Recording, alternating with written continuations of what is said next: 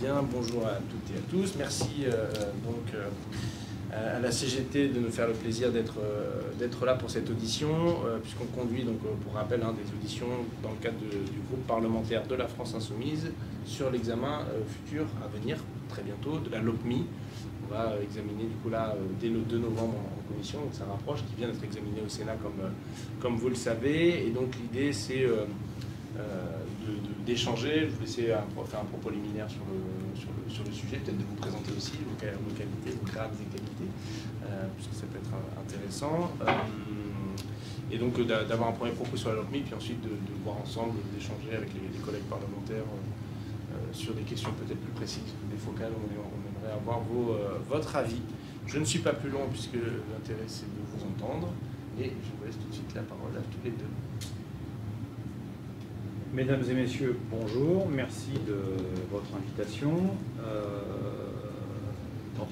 étant entendu, qu'en plus on a, quand même énormément de choses à vous dire euh, sur cette LOTMI, euh, qui est une, résurgence, hein, puisque on en a déjà eu une de mémoire, voire peut-être deux, sous, sous JOPS. Euh, j'ai oublié la présentation. Anthony Caillé, je suis secrétaire général du syndicat CGT Police Nationale. Mon métier, c'est enquêteur euh, de police judiciaire. Je travaille à la brigade de répression du banditisme à la direction régionale de la police judiciaire de Paris. Euh, et, donc on revient cette année sur une séquence assez inédite, hein, il faut le dire, puisque beaucoup des prédécesseurs de M. Darmanin avaient promis d'allouer énormément de moyens à la police nationale, euh, notamment euh, la droite qui a vu un ministre de l'Intérieur devenir président de la République, qui effectivement euh, était dans ce sillon-là, mais n'a jamais eu, en tout cas, de loi de programmation. ça, c'est une, c'est une première chose. nous, on peut saluer cette loi de programmation, la mise en place d'une loi de programmation euh, pour la, police, nationale, enfin, en tout cas pour les effectifs de sécurité intérieure, puisque ça nous permet euh, euh, d'avoir un travail sur un temps long et de, pouvoir effectivement mener des réformes progressistes sur un temps long, ce qui n'est plus le cas depuis ces 40 dernières années. Euh, après, quand on se penche un peu plus euh, sur cette loi de programmation, on voit tout de suite qu'elle est divisée en deux coupes, euh, quasiment deux parts égales, 7 milliards, 7 milliards, dont 7 milliards sur tout ce qui est réseau informatique, ingénierie, réseau radio du futur. Alors, on est désolé, j'excuse d'ailleurs un camarade, M. Bruno Mico, qui devait être présent et qui aurait pu développer la partie euh, réseau radio du futur, qui est d'ailleurs euh, assez intéressante à, développer, euh, qui est un personnel SIC, donc les services informatique et communication. on est en pleine élection pro et il n'a pas pu se rendre disponible ce matin. J'en suis bien navré. Euh, donc voilà, en tout cas, euh, euh, ça c'est la partie très intéressante, c'est effectivement d'avoir cette bourse et de nous dire bon, on va pouvoir travailler sur un temps long. Après, quand on regarde en profondeur et de façon macro la LOCMI, on n'est plus du tout sur effectivement des propositions qui nous sied, puisqu'il y a tout un tas de, choses qui sont mises en place, notamment sur la partie surveillance euh, électronique, surveillance euh, par drone, euh, enfin toute la partie très répressive, je pense que vous aurez des questions à nous poser. et après, sur la partie LOPMI, on va dire sécurité intérieure plus opération de terrain, personnel de police ou de gendarmerie, en fait, la police nationale, elle n'est concernée que par une, portion congrue de, cette LOPMI, euh, étant entendu que nous, on a trouvé beaucoup de, choses qui n'allaient pas. On a, on a trouvé des contresens en fait dans cette loi, notamment dans son la première euh, annexe qui est le, enfin, qui est le rapport annexe, le premier, le premier article pardon, qui est le rapport annexe. Euh, et, euh, et, le reste de la LOPI. Bon, alors sur le, premier point, c'est le doublement de la présence sur la VP, l'augmentation des violences à la personne, les stats, la lutte contre la violence intrafamiliale, etc. on note une suppression de 500 brigades de gendarmerie euh, c'est ce qui a été supprimé euh, sous l'ère Nicolas Sarkozy et c'est ce qui nous est concédé aujourd'hui par le ministre de l'Intérieur, euh, Gérald Darmanin. Les unités de force mobile, ils nous annoncent la création de 7 EGM e et 4 CRS, alors que Nicolas Sarkozy en a supprimé 15 au total.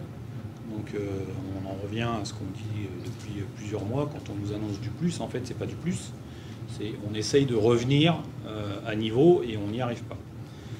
On nous annonce une modification des cycles horaires euh, qui en fait est déjà actée, le savoir, puisque le cycle de vacations fortes a été euh, purement et simplement abandonné par le directeur général de la police nationale.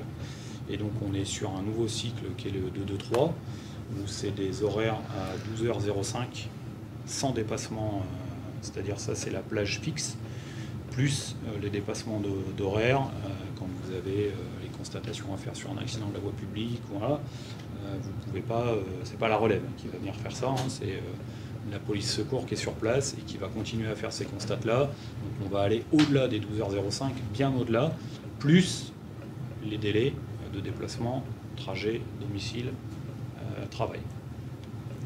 Donc on va avoir des policiers et des policières hyper fatigués. Euh, on nous annonce une réserve opérationnelle de 30 000 réservistes. Hein. Euh, donc euh, dans ces réservistes-là sont compris les retraités de la police nationale, les actifs aussi de la police nationale, puisque j'ai pas vu en fait. Mmh. A priori, même les actifs de la police nationale pourraient faire valoir leur droit à demander à, compléter cette réserve opérationnelle, et, ensuite des acteurs de la société civile. Alors ça, ça nous pose un sérieux problème, puisque 30 000 effectifs, c'est quand même très important sur 111 euh, 000 effectifs de policiers. Quand je dis 111 000, c'est les policiers statutaires. Je ne parle pas des contractuels et je ne parle pas des administratifs et des techniciens. Euh, je ne parle que des policiers statutaires. On est à 111 000 effectifs. Vous rajoutez 30 000, ça fait 141 000. On parle euh, de risques psychosociaux. Je venais de vous parler euh, notamment des difficultés des plages horaires et du cycle de 2-2-3, qui est extrêmement euh, compliqué à gérer physiologiquement, qu'il l'est encore plus pour les nuiteux, qui eux sont déjà en danger de par le fait qu'ils travaillent la nuit, mais en plus, quand on leur impose des cycles horaires à plus de 12 heures, c'est vraiment catastrophique. Donc cette réserve opérationnelle, déjà politiquement, au sens noble du terme, on y est opposé. La police nationale, elle ne peut être que régalienne, elle ne peut pas être autre chose.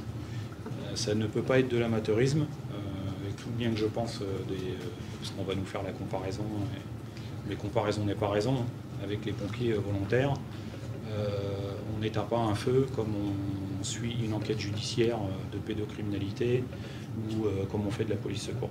C'est pas le même métier, ça n'a rien à voir. Il y a un métier de soignant, il y a un métier de prévention, euh, et, il y a le métier qui est le métier de policier. Euh, c'est pas la même chose. Accessoirement, le policier porte une arme. Les 30 000 réservistes, aujourd'hui, c'est deux semaines de formation. En tout et pour tout. Ils n'auront aucun signe distinctif d'ailleurs.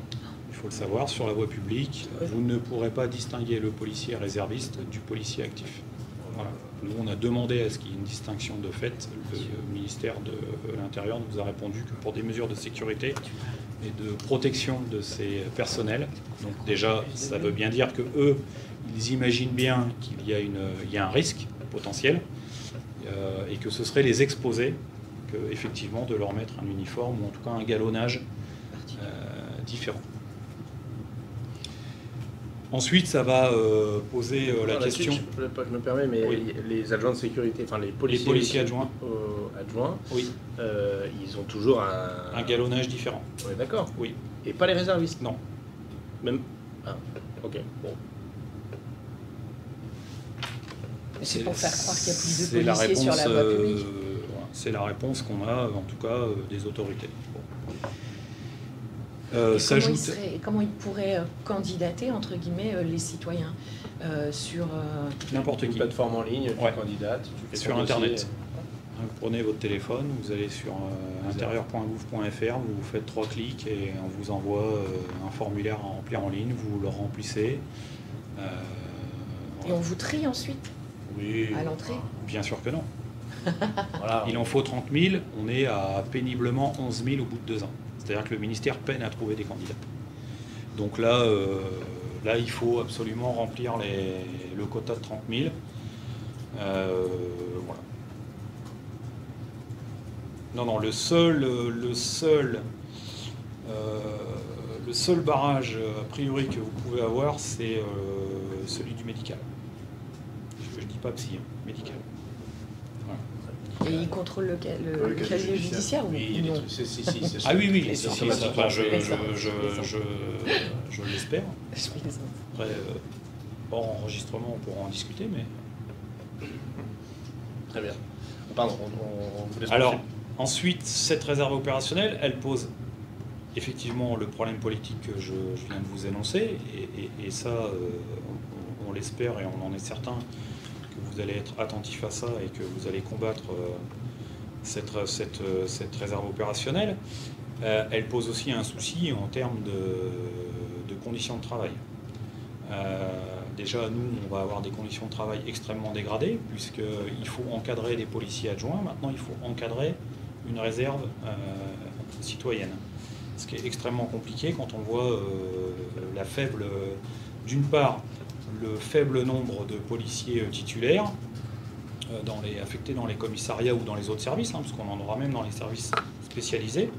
Ça pose euh, cette question-là. Et puis, problème. et, et puis ensuite, il y a aussi la question de la jeunesse des policiers titulaires. Mhm. Euh, puisque le gros du bataillon de la réserve opérationnelle sera donc essentiellement dans le bassin francilien, et que dans le bassin francilien, on n'a que des jeunes policiers, euh, qui ont du mal déjà, eux, à être encadrés, et là, on va les mettre dans une position d'encadrant.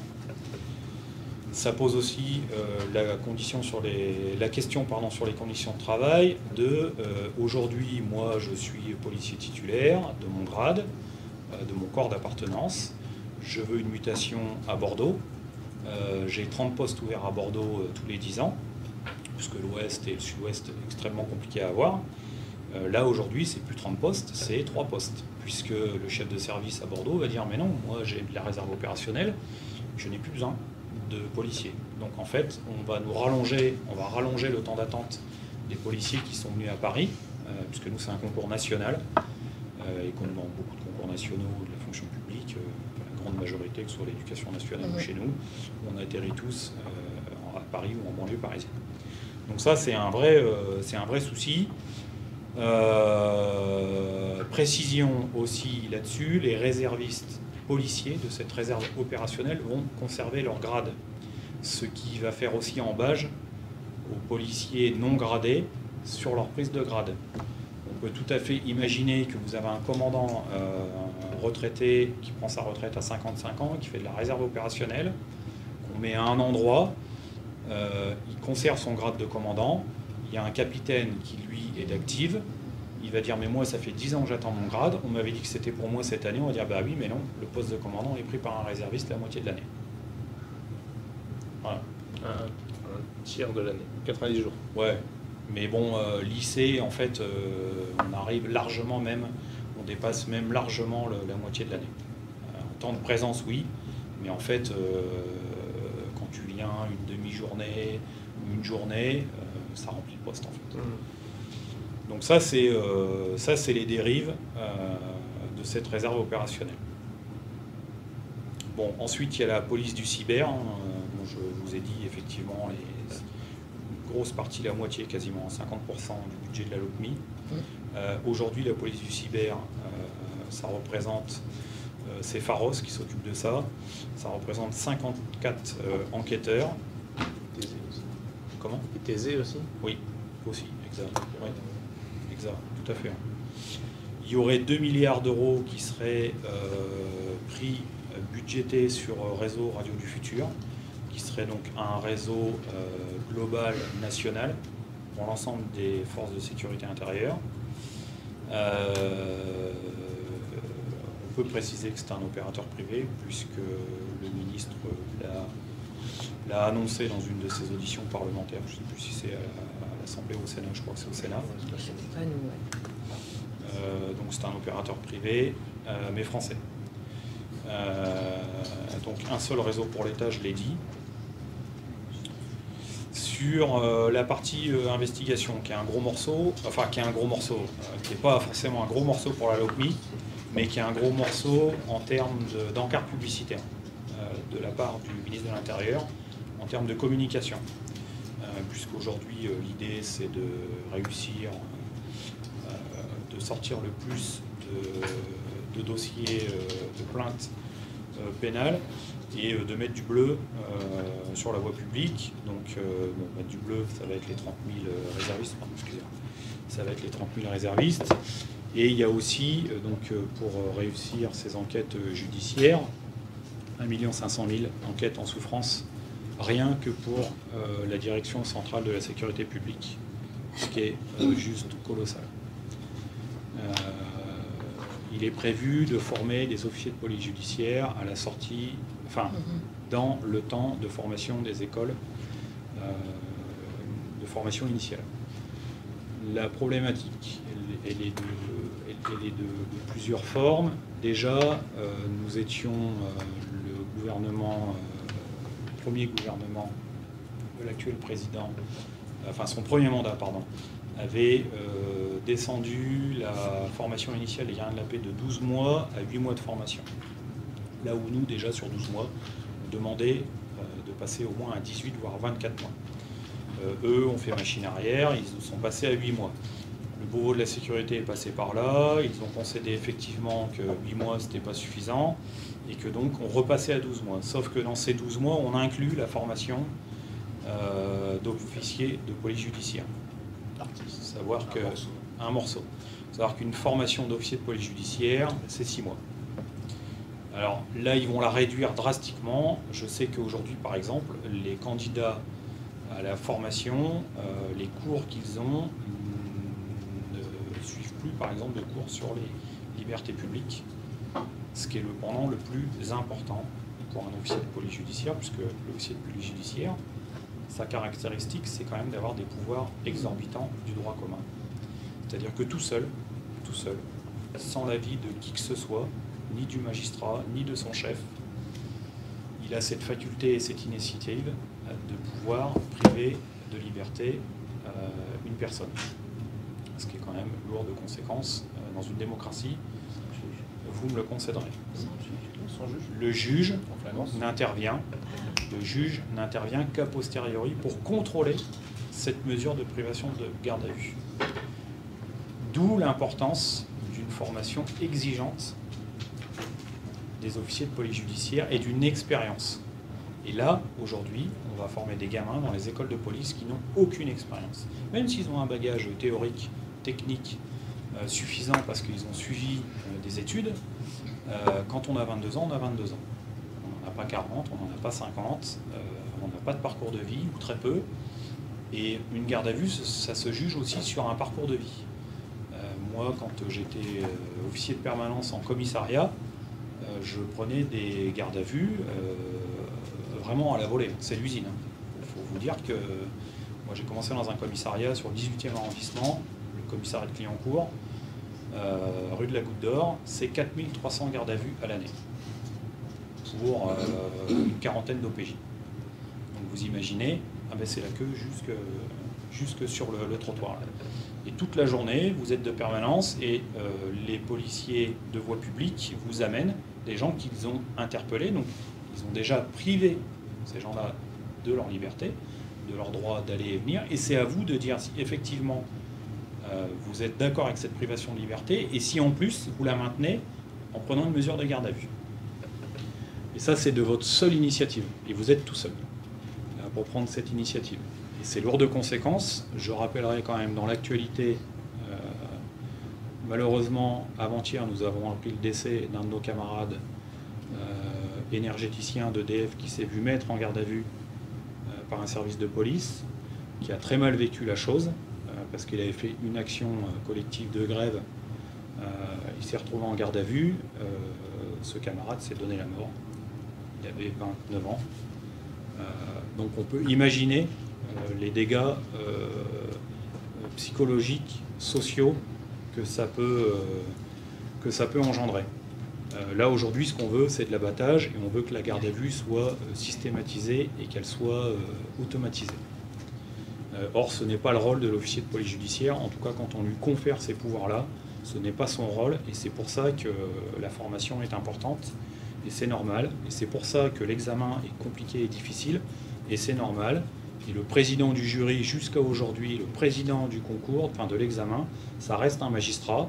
Il se peut que ça ne soit pas toujours le cas et que ce soit un, hiérarque policier. Nous, on tient à ce que ça soit un magistrat euh, qui ait la charge, en tout de, ce, de, cet examen. Mais voilà, ça pose en tout cas tout un tas de, contrôles, euh, de problématiques, euh, de voir des jeunes, des jeunes sortis d'école avoir cette, cette qualité.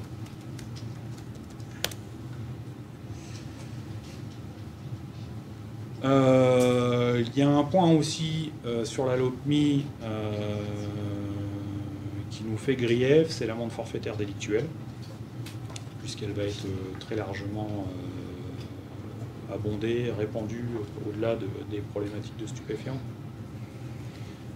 à peu près. Alors, a priori, j'ai moins suivi les débats, mais voilà, ça a bien réduit. Ils avaient mis tout. Euh, mais on était à 3400 euh, délits euh, d'amende forfaitaire délictuelle. Jusqu'à un an de prison et le Sénat a réduit à 8 catégories d'infractions. Alors, c'est assez antinomique, puisque d'un côté, on nous dit qu'il faut alléger la procédure pénale et il faut alléger le travail des enquêteurs mais on dépossède le magistrat d'une certaine partie des prérogatives pour les filer aux policiers. Donc ce boulot-là, il va quand même falloir qu'il soit fait. Et donc c'est plus le magistrat qui le fait, c'est nous qui allons le faire. Bon, ça c'est euh, vraiment le truc euh, euh, antinomique, mais le fond du problème, il n'est pas là. Hein. Le, danger, il est bien sur la déjudiciarisation des délits. Et ça, c'est important, puisqu'on va priver le justiciable de ses droits. Hein. Aujourd'hui, un justiciable, quand il est mis en garde à vue pour une infraction, un délit ou un crime, il a des droits d'avoir un conseil, le droit de prévenir sa famille, euh, son employeur, euh, ses amis. Euh, il a le droit de voir un médecin, mais voilà, il a un certain nombre de droits et surtout il a le droit d'assurer sa défense. ce qui n'est absolument pas le cas avec une amende forfaitaire délictuelle, puisque là, c'est pareil. si recours il y a, ce sera un recours a posteriori, et donc, euh, en fait, on rentre dans un schéma de droit administratif et on n'est plus du droit, on n'est plus du tout sur un schéma de droit euh, judiciaire. Et donc ça, ça pose euh, un réel souci de compétence. Hein, Ce n'est pas de la compétence du policier d'être à la fois policier, enquêteur et juge.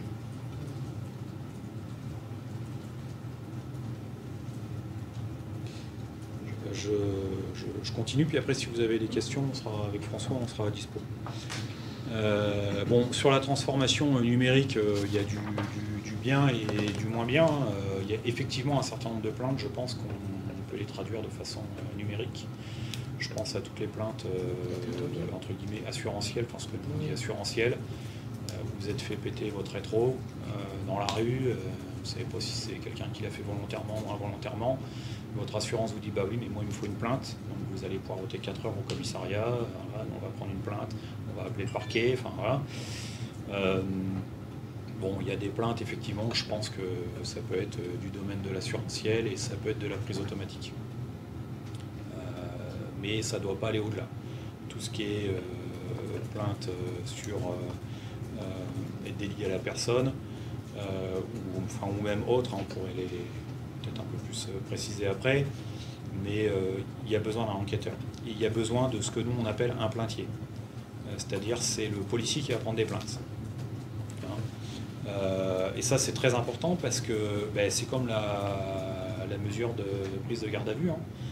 Euh, en fonction que vous ayez fait un délit dans une manifestation et que vous l'ayez fait, tout seul dans la rue de façon isolée, moi, par exemple, à titre personnel, je ne prendrais pas la mesure de la même façon. Voilà, clairement. et ça, c'est de ma prérogative. La prérogative de personne d'autre. et donc là, c'est la même chose. Moi, j'ai besoin, par exemple, qui suis un, vrai produit de police judiciaire, j'ai besoin que la plainte, elle soit prise de façon précise. précise. Et ça, pour ça, on ne peut pas laisser faire un robot sur Internet et remplir des cases, c'est pas possible.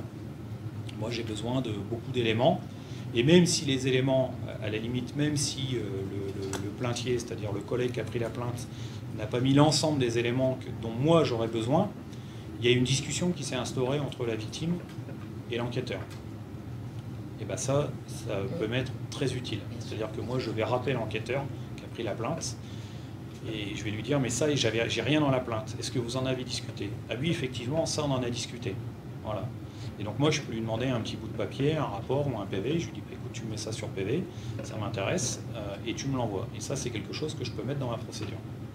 Donc euh, l'humain, il, est, euh, il est indispensable. On ne peut absolument pas le dissocier. il y, a, il, y a, il y a, deux dispositifs dans la LOPMI. Hein. Il y a la plainte en ligne oui. et il y a l'entretien en visio. Oui, exact là, on a parlé plainte en ligne. Oui, alors l'entretien en visio, on a eu cette euh, discussion avec euh, vos homologues euh, du Sénat. On n'y est pas favorable parce que c'est la même chose. Hein, quand vous avez la personne en face de vous et que vous l'avez en distanciel. Et au-delà, je ne vous parle même pas des problèmes techniques, hein, puisque pendant des années, quand la garde à vue, la vidéo garde à vue est arrivée, c'est-à-dire qu'on nous a demandé de filmer euh, les gardes à vue au départ, c'était les gardes à vue uniquement de mineurs. Euh, dans des commissariats, on attend encore les systèmes d'enregistrement. Voilà. non, c'est faux. Le ministre a dit que c'est pas vrai. Ouais. Et ben, du bon Moretti, je parle. Voilà. Donc euh, bon, alors là, on est peut-être tous équipés. Et quand les services spécialisés ont été servis, on a été équipés de systèmes de vidéo garde à vue. Et quand le juge d'instruction a une demande du conseil soit de la victime, soit du mise en cause, euh, de visionner le CD euh, d'audition, de, eh ben, c'est pas possible. Parce que la justice n'a pas le même logiciel que la police. Ça paraît suré, mais c'est comme ça. Bon, déjà, vous êtes, il y a encore des CD-ROM, donc c'est déjà un indice que, que, ça va pas. Bon, et puis, euh, et puis concrètement, on ne prend pas. Moi, je, je, ne, je n'ai jamais fait de plainte euh, vidéo puisque ça n'existe pas encore. Par contre, j'ai fait des présentations magistrat en vidéo. Mm. Le ressenti n'est pas là. Mm-hmm. Le, magistrat, il, a, il, est, on le sent, il est occupé à 10 trucs en même temps. Euh, il vous écoute, mais à côté, il y a son greffier, à côté, il y a son collab. il a des coups Enfin, voilà. Le, l'attention est vraiment est pas présente. Malgré tout, la personne qui est devant l'ordinateur et qui s'adresse au policier, on ne sait pas dans quel contexte elle est en particulier. Alors après, il y a, on est d'accord, hein. effectivement tout ce contexte, euh, effectivement. Il peut y avoir une forme de pression euh, malgré tout qui s'exerce sur la personne. complète, complètement. Très, très, très Tout à fait. Ah, mais complètement. le magistrat, il n'a pas la personne devant lui. Hein. Oui, oui, enfin là je parlais de, des histoires de plaintes par visio. Ah, pour les plaintes, oui. Bah ouais, vous ne savez pas dans quel contexte. Mais pour les mises en cause, mais pour les mises en cause, c'est la même chose. Oui. Les mises en cause, on peut être quatre dans la pièce. Vous avez le magistrat qui est en face. Il n'y a qu'un policier qui apparaît sur la vidéo, mais en mm. fait, il y en a quatre. Tout à fait. Ben, euh, on ne dit pas la même chose quand il y a quatre personnes autour de vous que quand il n'y en a qu'une. Tout à fait. Voilà. Bon. puis dans, dans, euh, dans, la plainte, il y a une double. Enfin, je ne parle pas des petites plaintes dont a parlé Anthony, qui sont plainte. Oui, les vols de vélo. Mais euh, dans la plainte qui touche vraiment les gens, il y a deux dimensions. Il y a une dimension de maïotique, et ça, ça peut être fait que, en vis-à-vis, et, il y a une dimension de catharsis. Oui, tout à fait. Bon, C'est-à-dire que les gens qui viennent déposer même si nous, dans notre fort intérieur, on sait que bon, ça donnera sans doute pas grand-chose, je pense aux plaintes en cambriolage par exemple. Les gens qui viennent déposer plainte en cambriolage, alors pour nous, c'est une routine, pour les gens, c'est un peu l'histoire de leur vie. C'est une sorte de viol de leur intimité. Donc ils le ressentent très mal. Et le fait d'avoir affaire à, quelqu'un, un être humain face à eux, qui va les comprendre, qui va rentrer dans leur histoire, qui justement va les faire accoucher de la véritable histoire éventuellement des indices, c'est une dimension incontournable. Et ça, si on le fait en visio, euh, ça passe complètement à l'as. Euh, on rentrerait dans une forme de terrorisme mal euh, contrôlé de, de la plainte et de l'activité judiciaire. Donc ça me paraît totalement euh, illusoire. Bien sûr. Et par catharsis, vous entendez aussi euh, le, le fait d'être reconnu comme victime. Voilà, tout à fait, ça rentre dedans. C'est un élément. Puis ça soulage important. des gens. euh, Bah oui. vous savez, Oui, les- c'est déjà un Ah ouais, on vient de déposer. Non, mais c'est non, mais c'est des- bien plainte, sûr. hein, Dans un, dire, dans temps ancien, on était moins contrôlé. Il nous arrivait de traiter des fois par main courante des affaires. Ah, ça continue. hein. Mais quand vous... Non, c'est interdit. Oui, je sais bien. Mais euh, lorsque vous, vous avez des affaires comme des différends entre voisins qui tournent mal, bon, et puis il y en a un qui veut la soude, machin, etc. Ça correspond à rien du tout. Mais les gens, quand ils se présentent dans le commissariat, à qui on explique, oui, non, non, mais il n'y a pas lieu plaindre, etc. Mais quand ils sont venus, ils ont déchargé une espèce de volonté de revanche, de volonté de, de demande de prise en compte, et euh, ça suffit souvent à régler l'affaire. Moi, j'ai cou- coutume de dire que pendant un temps, le- l'enquêteur ou l'inspecteur qui se trouvait au guichet des commissariats, c'était une sorte de juge de paix. Ouais, bien sûr. Voilà. Et on arrivait à régler un tas d'affaires comme ça. Mais pourquoi? Parce qu'il y a cette demande, justement, une réponse à cette demande de catharsis qui fait que les gens pff, ils se sont soulagés d'un problème, ils l'ont passé à autrui. Après, c'est à nous de faire les boulots qui vont en, en aval. Bon, après, c'est un problème de technicien, c'est un petit peu différent. Mais euh, la, la visio-plainte, ça me paraît une pure idée de l'esprit. Il y a ensuite euh, la problématique des directions départementales de la police nationale. Est-ce qu'on développe ou Bien Bah, sûr. rapidement on, ou- on- on peut euh, peut-être euh, ne pas trop s'attarder Oui. sur l'APJ parce qu'il y a la mission, la formation, et, euh, mais l'évoquer en quelques mots quand même, mais surtout sur tout le reste des aspects. Parce qu'on focalise à juste titre beaucoup sur la question de la police judiciaire dans cette départementalisation, mais quid des autres services aussi? Euh, Est-ce que, est-ce que du coup il n'y a pas de sujet sur le reste et que c'est vachement bien départementalisé ou pas? Voilà, il y a quand même euh, la sécurité publique en tant que telle, la police aux frontières, les, autres services qui sont concernés. Ben, écoutez, très brièvement, le projet de réforme euh, des directions départementales de la police nationale. Aujourd'hui, la police, on a l'habitude, de coutume de dire en tout cas qu'elle est organisée en silos.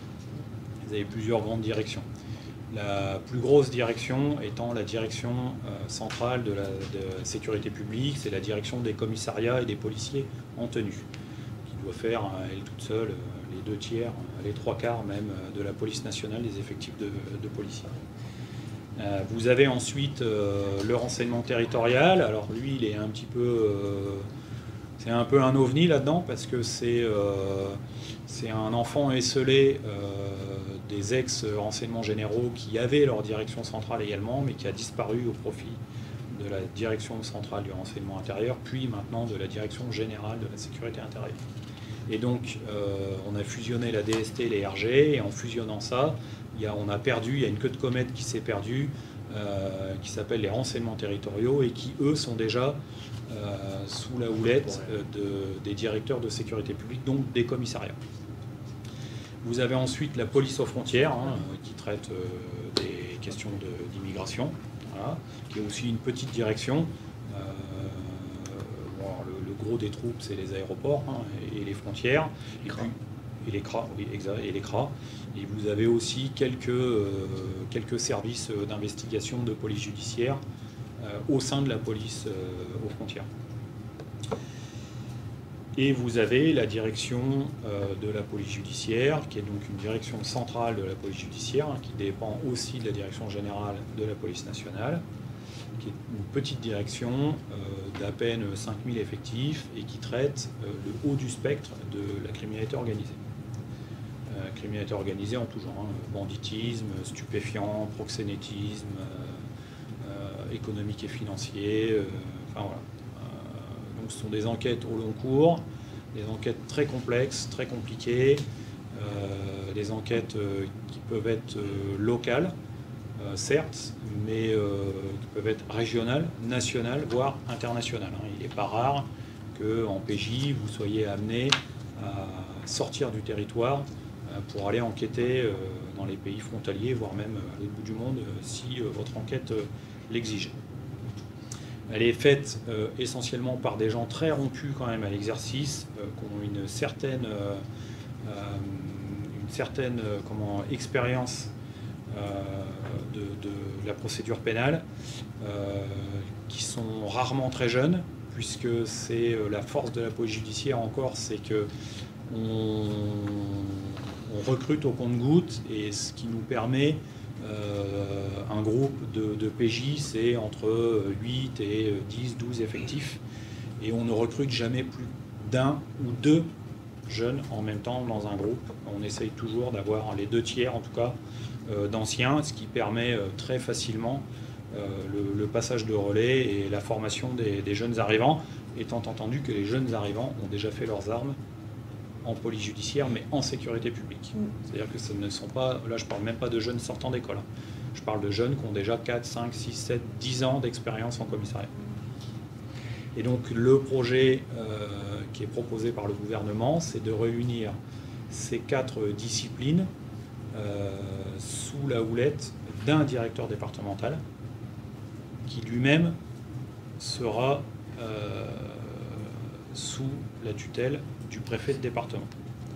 Alors ça pose, plusieurs problèmes. Euh, la première problématique, euh, évidemment, c'est celle euh, qui concerne la police judiciaire, c'est-à-dire c'est le territoire, son territoire de compétence qui est aujourd'hui sur une zone, qui est au-delà d'une région administrative, hein, qui est sur une zone. les zones sont, par exemple, la zone Marseille, ça va de, de la frontière italienne jusqu'à quasiment jusqu'à Toulouse.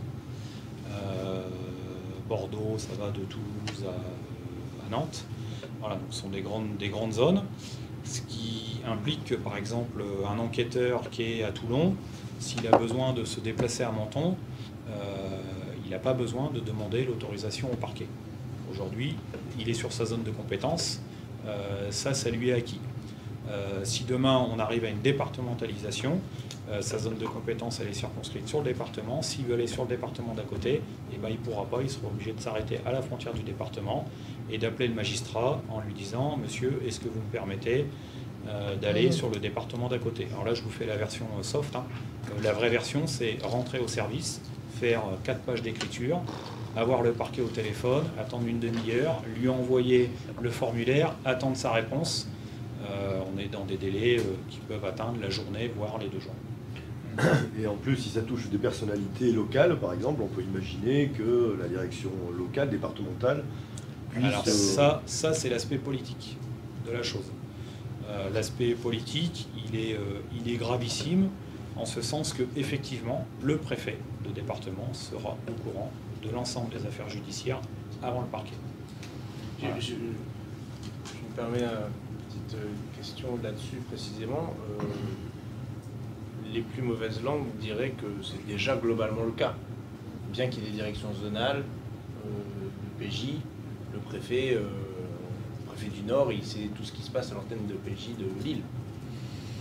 Ça, ça tient, euh, c'est ce que, un peu ce que j'ai essayé de dire tout à l'heure. Ça tient, non, non, mais j'ai bien compris.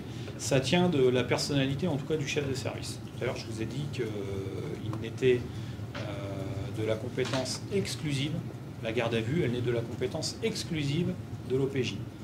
Euh, étant entendu que si vous mettez un jeune euh, à la permanence euh, judiciaire d'un commissariat et qu'il faut faire du chiffre et que son commissaire de police, son chef de service arrive et lui dit Monsieur X, les chiffres sont pas bons, le jeune policier, bah, il fera de la garde à vue, très clairement.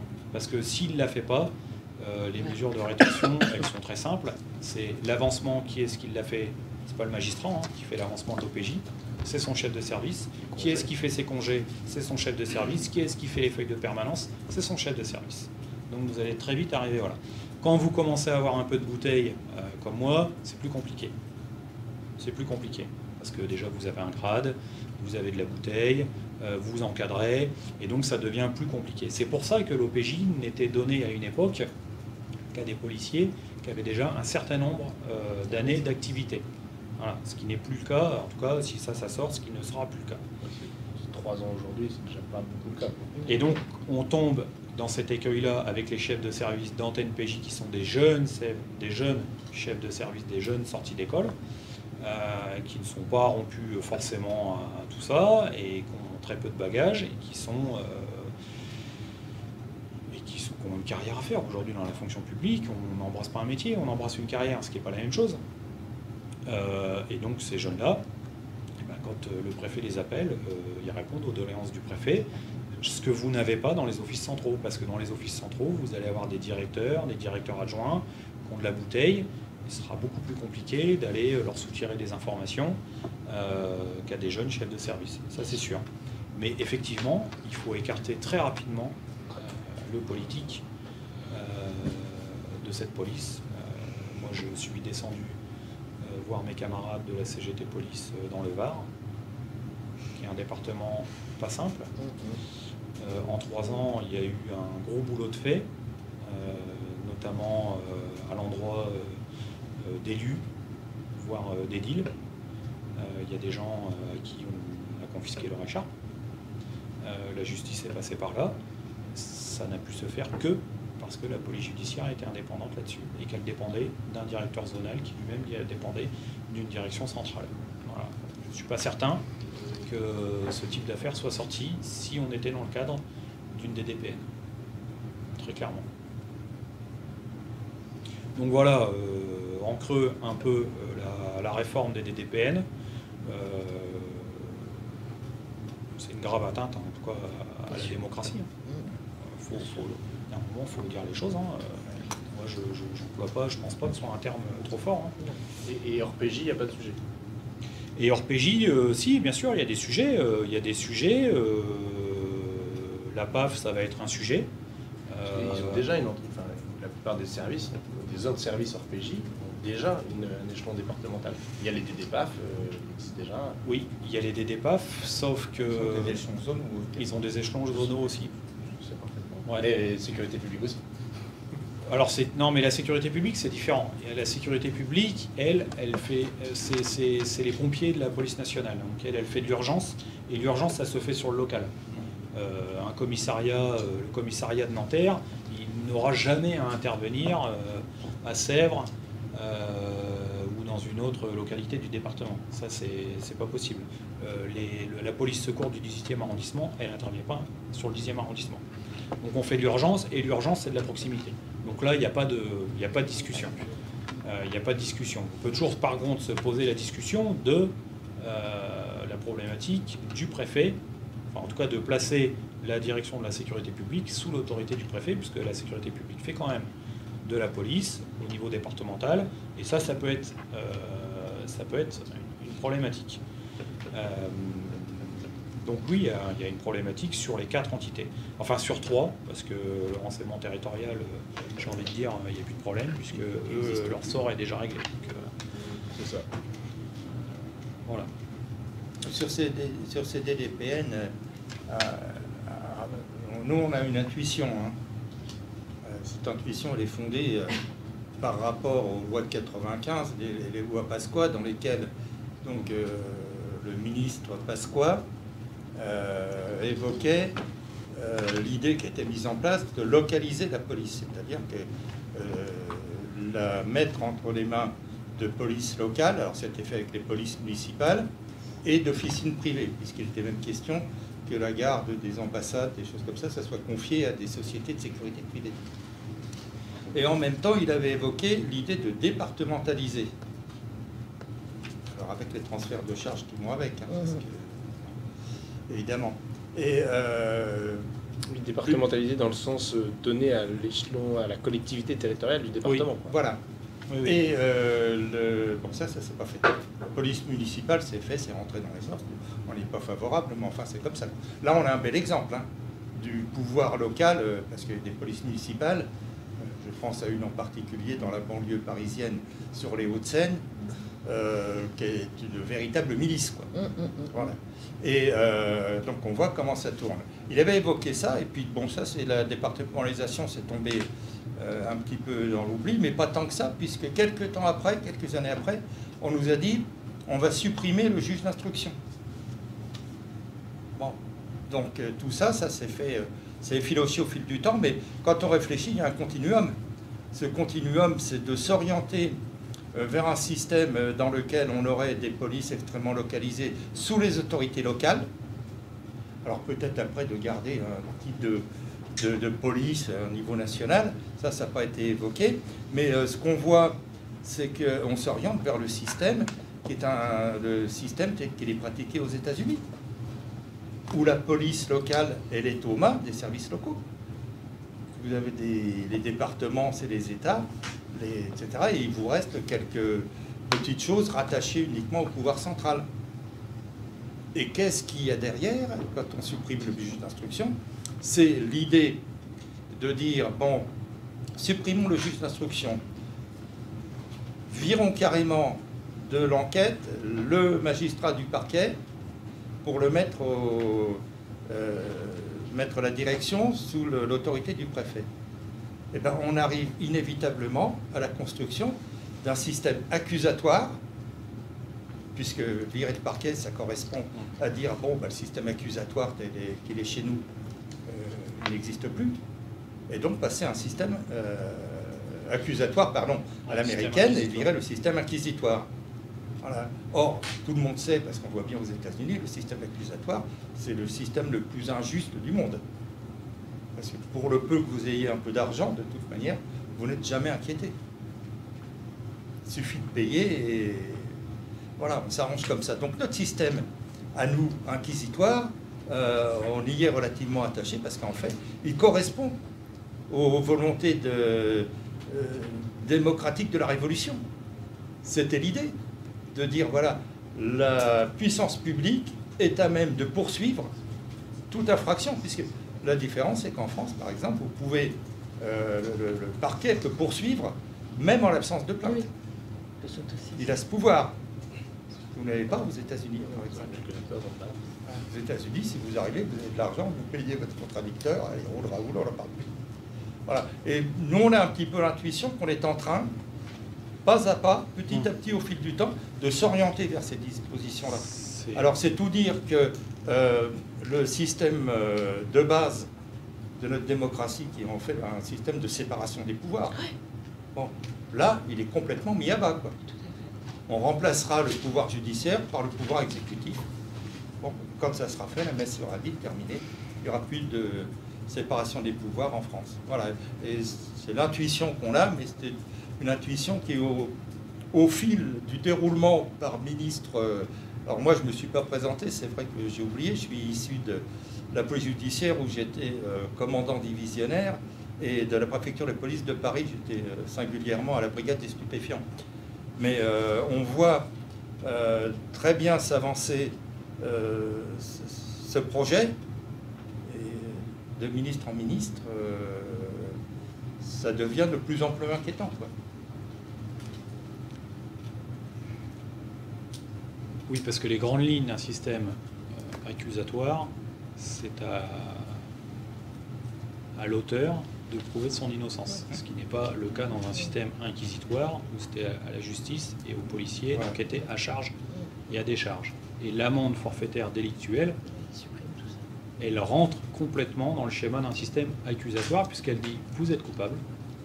Maintenant, si vous ne l'êtes pas, bah, faites un recours contre cette amende forfait- forfaitaire délictuelle et prouvez de votre innocence. Et pour ça, bah, il faut des sous parce que voilà, Parce qu'il faut payer l'amende pour pouvoir la contester. il faut payer l'amende, il le faut, montant. voilà, il Pour faut consigner le montant. le montant de l'amende. Il faut se trouver un avocat euh, spécialiste euh, dans le domaine, il faut euh, faire des recommandés, euh, ce qui n'est pas à la portée de tout le monde. Et, si jamais, par exemple, le- l'accusé, enfin celui qui a reçu l'amende forfaitaire, entame une procédure avec avocat, etc., Oui. si euh, il gagne, est-ce que l'État est condamné au dépens? Il peut être condamné au Ouais. dépens, mais. Bah, Si c'est euh, pas le cas, ça veut dire que même si tu gagnes, tu as perdu l'argent de la procédure. Oui. Donc personne va. va Je ne sais pas euh, dans les recours des AFD aujourd'hui si on a ici le texte condamné aux dépens d'avoir des stats là-dessus. Si, si, il faut donner aux dépens, mais les dépenses ne couvrent pas les frais de. de- Ouais, en général, c'est des Ah ouais sommes qui sont inférieures à ce que ça a Ah ouais. réellement coûté. Quoi. Et puis euh, le système accusatoire, c'est un droit oral. Le système inquisitoire, c'est un droit écrit. La procédure pénale en France, c'est une procédure pénale écrite et nous on y tient. Très important. C'est- Cette amende forfaitaire elle correspond à ce que les Américains appellent la première comparution, où vous arrivez devant un juge unique et il vous demande euh, bon, vous êtes coupable, ouais, très bien, parfait, vous êtes condamné à temps, et puis pour le Raoul, on parle plus. Oui, c'est du plaidé coupable. Et on ne peut pas imaginer que dans le cadre d'une interpellation euh, sur la voie publique euh, qui donne lieu à une AFD, celui euh, qui est euh, donc euh, le destinataire de cette amende puisse dire bah non, non, non, moi je veux passer par la procédure normale, donc je vous demande de me de, de Non, faire une plainte. c'est plus possible ça. C'est pas possible. C'est pas le. On ne peut pas demander à passer au- à l'échelon supérieur. Non. Non, non, on pourrait le mettre dans la loi, par exemple, ça pourrait être rigolo. Mais cette AFD est- censée en plus n'avoir, c'est un one shot en quelque sorte. C'est-à-dire que quand on a eu une AFD pour, je sais pas moi, le gamin qui a fumé un joint euh, sur la voie publique, la, la fois suivante où il se fait attraper, c'est plus l'AFD. Alors, euh, pour être précis, c'était ça au début, puisque c'est le cadre général de l'amende forfaitaire délictuelle, mais ils ont modifié dans, le- je sais plus laquelle des lois, ça doit être confiance dans l'institution judiciaire, un truc comme ça, euh, que sur certaines AFD, on peut les mettre successivement euh, et qu'il n'y a pas besoin de passer par une procédure euh, pénale classique euh, en cas de ré- récidive. Et c'est le cas pour les peuvent, on peut en dresser successivement sans. Oui, ça va devenir de la contravention. C'est une, c'est une- contravention. euh, contravention. Si Ah, ça l'amende a n'est toutes les apparences. Ça Alors là, euh, là, là, je pourrais pas vous dire. Je suis pas dans On a- le on a- recouvrement des amendes, je sais pas du tout. On a, on a eu les informations pour le coup là, de la part des, à la fois des avocats et de ceux qui ont pu être confrontés. Bon, déjà, le taux de recouvrement des amendes forfaitaires délictuelles en moyenne, hein, le moyen 20%. global, c'est euh, autour de 30%. Ah, ils nous ont dit 20%. Ouais, enfin, entre 20, ils, ils sont pas bien Ouais, sûrs de leur chiffre par ailleurs, ce que j'avais aussi moi. mais Ah, 20-30%, euh, il- ça descend même à 15% pour certains types d'infractions. Euh, Il y, a, il y a deux choses qui, qui expliquent ça. Euh, D'une part, euh, parce qu'en réalité, l'arbitrage a été fait que le- le- l'identité était déclarative et qu'il n'y avait pas besoin de certifier l'identité de la personne pour dresser l'amende forfaitaire délictuelle. Donc il y a des gens qui ne donnent pas leur vraie identité, donc du coup, bon, voilà, c'est QFD. Euh, et puis derrière, euh, les, gens, les gens qui n'arrivent pas, à- qui arrivent pas à payer, alors là, du coup, ça repart sur le circuit trésor public, en fait, hein, qui vont Ouais, ensuite chercher à faire le recouvrement. Euh, donc envoyer des courriers, euh, commander éventuellement un, un huissier. Mais même pas si sur salaire, parce qu'en fait, ça demande, ça demande trop de, coûts administratifs pour vu le montant. À... C'est toujours l'arbitrage qui est fait comme ça par les finances publiques. Et donc, à la fin, effectivement, on a euh, une répression qui n'est pas faite en plus dans 70% des cas. Elle est dressée de manière potentiellement, potentiellement arbitraire. Elle peut être arbitraire, et en plus, derrière, euh, c'est même pas, même pas recouvré. Et finalement, à votre description, on se dit qu'il y a presque, on va dire, un déshabillage de la police dans les- ses missions, on va dire, contre le grand banditisme, la grande criminalité, la criminalité en col blanc, pour finalement se concentrer sur euh, la- la- la- la- les petits stupes, euh, Il y a, il y a une Euh, réalité. Le larcin de voie publique. Il y a une réalité, c'est que euh, regardez les médias. Vous avez une, une affaire qui se produit, euh, sans parler d'affaires récentes, mais qui va interpeller les médias. et On va vous le sortir. euh, ça va durer 48 heures. Au bout de 48 heures, il ne se passe plus rien. Par contre, vous avez un groupe qui travaille.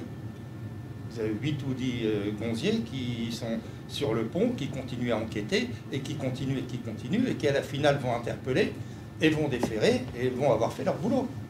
Vous n'en entendrez jamais parler. Donc au niveau des- du raisonnement d'un ministre de l'Intérieur, ça ne présente aucun intérêt. D'autant plus que vous aurez fait une affaire, un fait, un élucidé.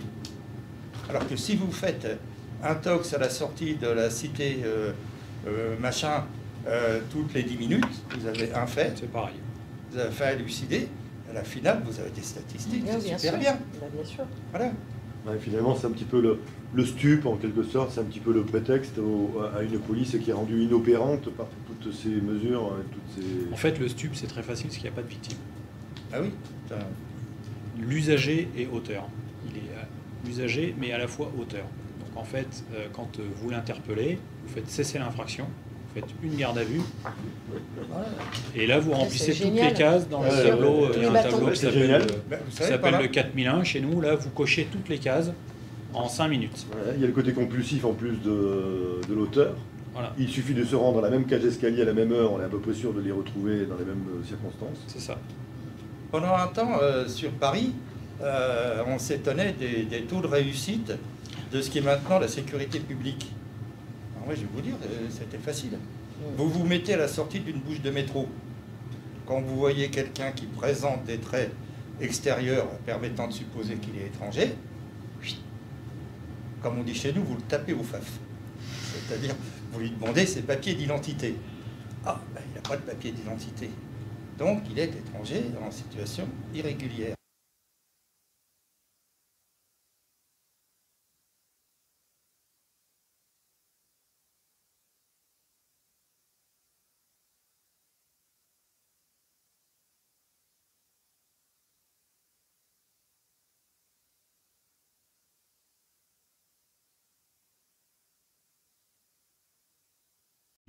De ce 4000 Oui. Et pourquoi quelques minutes Parce que c'est le nom de l'imprimé. Ça n'a pas de signification avait, euh, particulière en dehors de ça. Il y avait quelque chose qui était prévu dans la LOPMI, mais qui n'est pas inscrit, qui a, part- a priori sera inscrit dans le texte justice proposé par le garde des Sceaux, c'est euh, éventuellement la fusion des cadres d'enquête. Aujourd'hui, il y en a trois. L'enquête préliminaire, l'enquête de flagrance et la commission rogatoire. Euh, le projet, c'est de fusionner l'enquête préliminaire et l'enquête de flagrance étant entendu que ce serait l'enquête préliminaire qui serait absorbée par l'enquête de flagrance. Je m'explique. L'enquête préliminaire, c'est euh, un fait, un acte, un acte de procédure. Chaque acte de procédure doit être rendu compte au magistrat.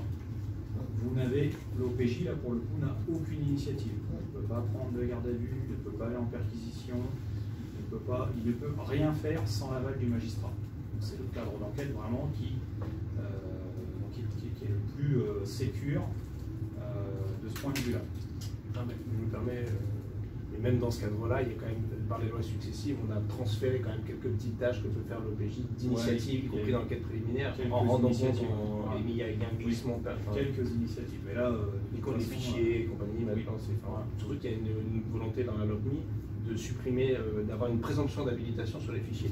Aussi Mais avec tout ce qui est attentatoire aux libertés, en, Oui, en oui. prélim, Oui, oui, c'est pas possible. L'OPJ ne peut pas. Par contre, l'OPJ, dans le cadre de l'enquête de flagrance, donc le flagrant délit, il a une délégation permanente des pouvoirs du procureur de la République. Il n'avise le parquet qu'à posteriori.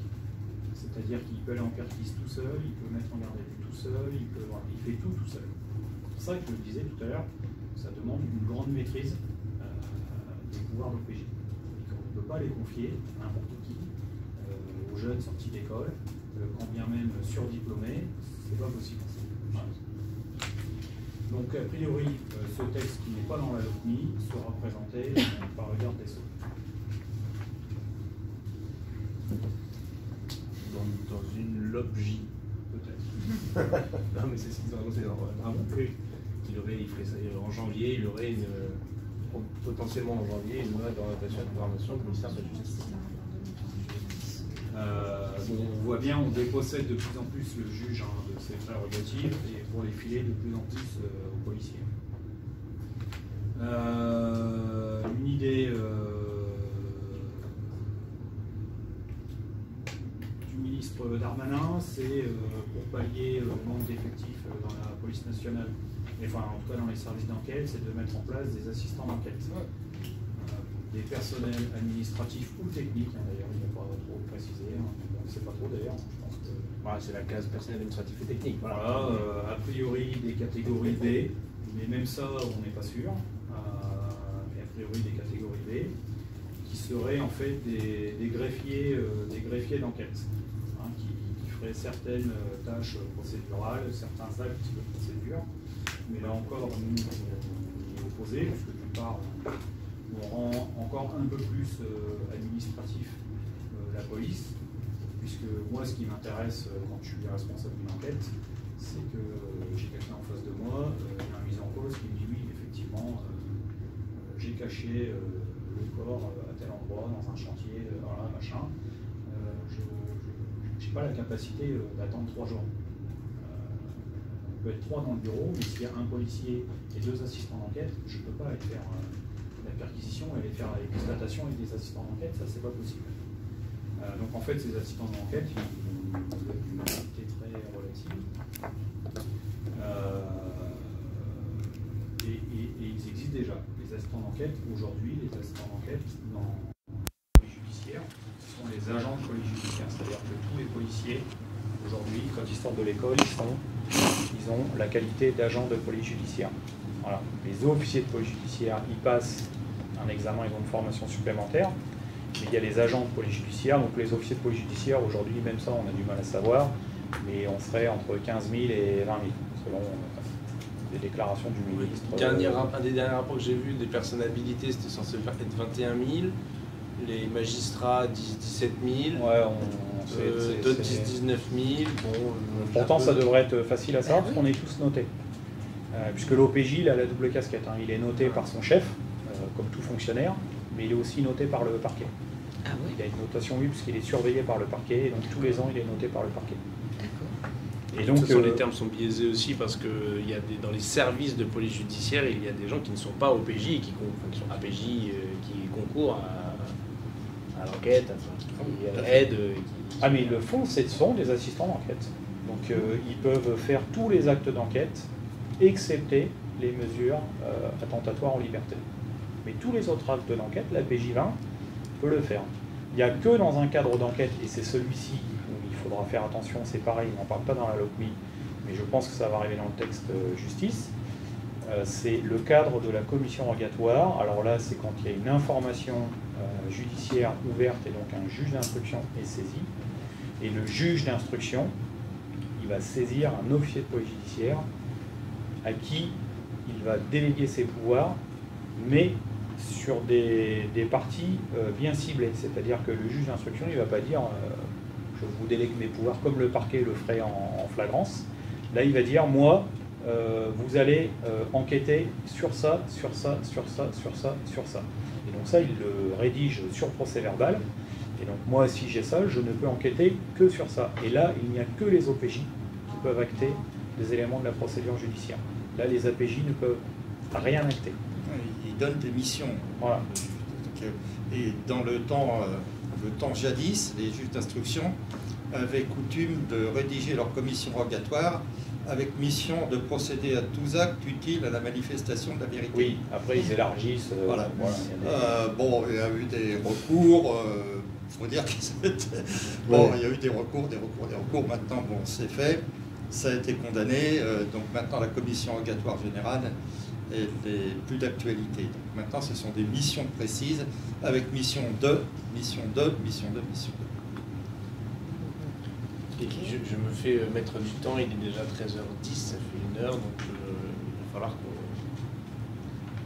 Arrive, J'en ai, euh, j'en, ai- ai terminé. Euh, Il y a les actes illicites sous pseudonyme. euh, Ah oui, euh, vous en pensez quoi de ça? Indispensable. Oui. Ouais, pour vous, c'est Ouais. c'est pas quelque chose qui euh, augmenterait potentiellement euh, les risques euh, de dérapage, mais c'est plutôt quelque chose qui est nécessaire pour C'est mener toujours la même l'enquête. chose, si c'est surveillé euh, ou pas. Oui. C'est indispensable parce que bon, c'est- spéciale d'enquête. Là, quand même, le- les enquêtes sous pseudonyme. Et après, il y a les Oui, techniques spéciales d'enquête, oui. c'est deux choses, Ah, c'est deux choses différentes. C'est pas la même chose. Euh, technique spéciale d'enquête, ça va être les postes des balises, euh, Ah. les écoutes, etc. Enfin, voilà, c'est- voilà. L'enquête sous pseudonyme, c'est l'enquêteur qui se fait passer pour quelqu'un d'autre sous pseudonyme, notamment sur les réseaux sociaux, sur Internet, sur, euh, sur Non, des- Il faut le, il faut d'une manière comme de l'autre le légaliser parce que bon pendant un temps il y avait alors moi qui viens des stupéfiants, euh, on pratiquait beaucoup les coups d'achat. Alors les coups d'achat c'est faire passer pour un, un toxicomane, moi je passais plutôt pour un trafiquant, j'avais pour ça. Mais c'est de prendre une apparence, donc un pseudonyme, un faux nom, et puis d'aller voir le, le revendeur pour lui acheter des, des stupéfiants. Donc il y a ce pseudonyme, il y a surtout le coût d'achat. Donc on, nous- voilà un moment, euh, on nous a fait le reproche de la provocation. Ben oui, c'est ça que je Bon, comprends pas. Alors euh, ça, ça avait été plus ou moins légalisé. Oui, ça je c'est légalisé maintenant. bien plus Ça, ou c'est moins. Parce que du coup, c'est le policier qui Oui. contraint euh, Alors, au délit. Oui, puisque... c'est ça. Non, c'est des bêtises que Non, vous, vous- vous- vous connaissez notre manière de retomber sur nos pattes comme les chats. Et euh, en fait, c'est pas nous qui demandons. C'est le client qui arrive et c'est le vendeur qui vient nous chercher. Oui, voilà. Bien. Donc, on est dans une situation différente. On n'était pas dans la situation des douaniers qui se sont fait euh, retoquer parce qu'eux, ils avaient carrément fait des commandes. Donc, c'était un petit peu différent. Mais justement, là dans le texte sur l'enquête sous pseudonyme, pour être très précis sur ce point-là, il est prévu de, de- de mettre un quatrième euh, cas de figure où on, on peut euh, aider à la commission de l'infraction Voilà. par divers moyens, donc passer des commandes, etc. C'est ce que prévoit là le texte. Oui, oui, oui. Euh, Est-ce que là, il n'y a pas. Est-ce qu'on n'est pas en train d'aller trop loin dans ce qu'on va pouvoir laisser faire euh, euh, aux policiers? C'est-à-dire que là, là, là, là, là, clairement, on va dire qu'on va pouvoir provoquer l'infraction. Enfin, c'est ce qui est pour l'enquête sous pseudonyme, c'est ce qu'on va faire. ça, ça n'existe pas aujourd'hui, là, le quatrième cas de figure? Si, mais il n'est pas, il est pas légal. Est-ce qu'on assume que, est-ce qu'on assume que ce soit le cas, quoi? C'est ça. Il n'est Ouais. pas légal. Disons qu'on fait en sorte que dans la procédure, ça soit pas trop, pas trop mis en avant pour que la- les, les- le- le- les avocats de la défense euh, s'en saisissent et disent regardez, Moi, en euh, c'est matière pas mon de- client, il a rien Moi, fait. en euh, matière de criminalité organisée, j'entends. Ouais. Euh, même sur du droit commun, mais en criminalité organisée. Euh, ça ne me choque pas. Ça ne me choque pas euh, si effectivement la cible est bien choisie. Oui, mais à la différence de la criminalité organisée, et notamment à la différence des infiltrations physiques ou de la présence physique, euh, c'est quand même le magistrat, il regarde ça de très près. Oui. Ah oui. Là, mais là, concrètement, dans le monde réel, c'est des, groupes d'enquêteurs, notamment sur la pédopornographie, euh, et en plus, là, l'objectif, c'est d'élargir donc là, enfin, sur d'autres types euh, d'infractions, euh, puisque l'enquête soupçonnée peut être faite pour tout ce qui encourt un an de prison, Ouais. qui est opposé, donc euh, voilà. Donc on prend les mêmes délits que pour la vente forfaitaire délictuelle, hein, 4200, enfin 3400 euh, infractions, dans lesquelles on va avoir un groupe d'enquêteurs qui a, une- qui a une- comme une commission rogatoire générale, en fait, et on leur dit, allez-y, faites ce que vous voulez. Euh, là, le contrôle, il est beaucoup moins resserré par le magistrat du parquet et la capacité à provoquer les infractions beaucoup plus large. Bon, Moi, je parle de criminalité organisée. oui, mais il faut le, faut l'encadrer. Mais enfin, euh, comment je pourrais dire ça? Il y a un moment où il faudra légaliser des choses qui peuvent paraître immorales. Bon, euh, tout le monde sait que euh, la police, dans le domaine des stupéfiants, par exemple, elle fonctionne grâce à quoi? Elle fonctionne grâce à des informateurs. Bon, faut pas se le cacher, c'est une réalité. Bon, alors ça a été plus légalisé, parce que maintenant, il faut les déclarer, bon, c'est suivi, etc. Vous avez les petites récompenses qui vont bien, où l'informateur est supposé passer à la brigade pour signer un bouquin où il doit signer reçu la somme de temps euh, euh, pour frais de délation. Mais enfin, bon, euh, il y a très peu qui viennent, mais enfin, c'est légalisé. Bon, c'est légalisé. Bon, là, dans ces. la, cybercriminalité en matière de pédopornographie, par exemple, c'est quelque chose d'indispensable pour les policiers qui font ça. Il faut qu'ils soient à l'abri, alors non seulement pour eux-mêmes de poursuites éventuelles, parce qu'on pourrait très bien les poursuivre. bien sûr, mais la c'est ça, c'est ça voilà. qui est, Hein c'est ça, qui- Euh, ça l'enjeu là, en l'occurrence. Parce qu'il y a un double aspect. Il y a l'aspect de la nullité de la procédure, Oui, et il y a l'aspect- après des poursuites pénales qui peuvent encourir. Bien sûr. Donc, euh, nous, Mais sur, mais sur la pédopornographie, ils vont pas, ils vont pas aller démarcher les gens pour, pour que, et- et en leur disant fabriquez-moi du contenu que vous allez ensuite me. Non, me mais par exemple- le contenu il est déjà là et ils vont confondre la- l'auteur de. Oui, mais à un moment donné, tu es obligé, de, t'es obligé de franchir par une certaine. C'est comme dans les stupes. Il faut franchir par, par rapport à une certaine euh, provocation. On est obligé de, de provoquer, de pousser les gens. Oui, je C'est ça le, le gros problème. Mais il y a une différence entre organiser un trafic de stupéfiants soi-même pour ensuite euh, euh, aller démarcher des gens en disant venez participer à mon trafic. Non, mais j'ai bien compris. Et il y a un trafic existant et Mais je vais m'immiscer Mais ce dedans. qu'il faut, c'est des doctrines claires.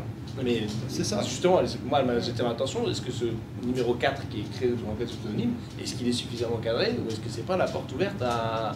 Parce que je le vois, je prends un exemple concret, c'était celui qu'on avait, avait euh, sur lequel on s'était penché quand c'était les délits en cours jusqu'à un an et dans les enquêtes sous pseudonyme.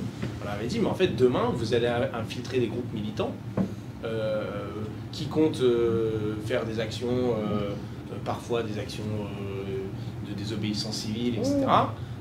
et, et donc, on- on- je ne voudrais pas qu'un policier dans ce genre de groupe soit celui qui génère l'idée en disant tiens, et si on allait euh, défoncer une vitrine à cet endroit-là, alors que personne ne l'avait suggéré dans le groupe en tant que tel, et qu'à la fin on aille. euh, vous voyez ce que je veux dire? Oui, mais j'ai- moi j'ai bien compris.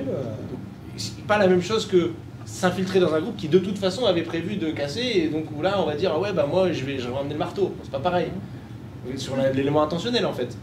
Euh, qui est quand même un peu Ah ouais. constitutif de- d'un droit pénal, euh, c'est un, petit peu important.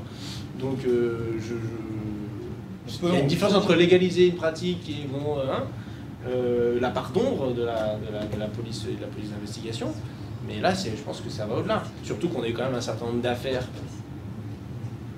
qui ont monté où la part d'ombre allait trop loin.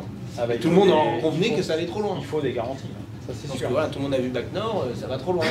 Personne n'est pour que j'ai ce pas soit. vu. Non mais tout le monde, personne n'est pour que tout ça soit légalisé quoi. Enfin j'espère. Enfin, en tout cas. euh, Non, mais il y a- il y a- Oui, mais là, il y a une absence de contrôle du parquet. Je suis Voilà. désolé, hein, dans cette affaire, on met les policiers euh, dans le sac et ok, très bien, hein, chacun prend sa part voilà, de responsabilité, mais moi, j'ai pas entendu une seule fois euh, euh, Je la responsabilité ni du parquet, euh, ni des avocats hein, d'ailleurs. hein. Et, Non, mais- et ils sont absents du film, par ailleurs. non, mais il y aurait C'est pas une. du- Bah, je, je le dis, je l'ai vu, il y a, le parquet n'existe pas dans le film, sauf à la toute fin pour mettre en cause les. Bah, celui qui contrôle mais- euh, la police judiciaire, c'est le parquet, hein, c'est pas le, c'est pas le chef de service. hein.